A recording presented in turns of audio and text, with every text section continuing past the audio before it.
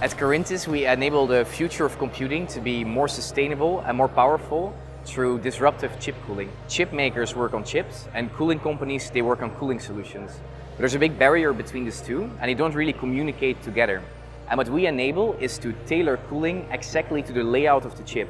So we use silicon microfluidics, microscale heat transfer, that can deliver the right amount of cooling to the right location on the chip so that we can precisely extract the heat where it's necessary with very low water consumption and with a very high efficiency. Here's an animation of one of our cooling solutions where you see liquid entering into a chip and branching out to extract the heat very localized to where it's being produced.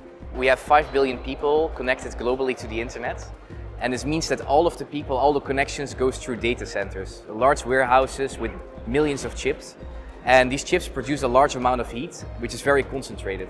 And extracting this heat is one of the limitations to make chips more powerful, but it's also having an enormous environmental impact. About 30% of all electricity in a data center goes to the cooling of chips. We see that over the next years, the amount of power that chips generate will keep on rising, which means CPUs, GPUs, they will become more powerful, and also the need for cooling will keep on growing. We can already integrate our technology in any existing chip, so we invite chip makers, hardware companies to come to us with their most challenging use case and we're sure that we can do it.